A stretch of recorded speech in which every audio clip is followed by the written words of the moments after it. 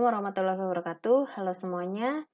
Di tutorial mekanika klasik kali ini saya akan membahas tentang mekanika Lagrange. E, pertama saya akan mencoba menjelaskan secara singkat bagaimana problem solving persoalan-persoalan mekanika dengan e, mekanika Lagrange. Lalu nanti diikuti di video-video selanjutnya beberapa contoh soal penyelesaiannya dengan menggunakan metode Lagrange. Nah, yang pertama bagaimana langkah penyelesaian soalnya?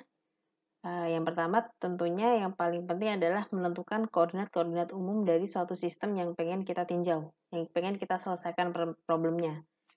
Yang kedua, nah menentukan bentuk dari energi kinetik P dan energi potensial sistemnya V. Gitu. Dari ketika sudah diketahui uh, koordinat-koordinat umumnya.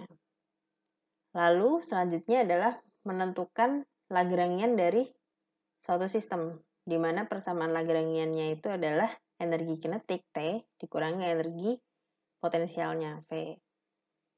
Lalu selanjutnya adalah menentukan persamaan Lagrange dari sistem yang ditinjau. Nah, seperti ini. D per dt, do Lagrange per doki dot kecepatan dari uh, koordinat-koordinat umumnya dan minus do L per doki atau per koordinat umumnya. Nah, selanjutnya lagi, baru menentukan dari persamaan Lagrange yang sudah didapat, persamaan Lagrange yang sudah didapat ini, ini dia akan menghasilkan yang namanya persamaan-persamaan percepatan dari sistem tersebut.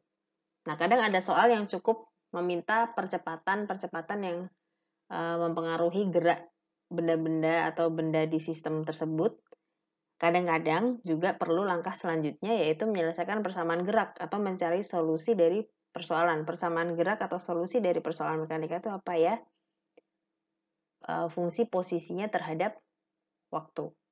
Nah, ini nanti caranya bagaimana tinggal diintegralkan dari persamaan percepatan yang sudah didapatkan dari operasi e, Lagrangian ke persamaan Lagrangian.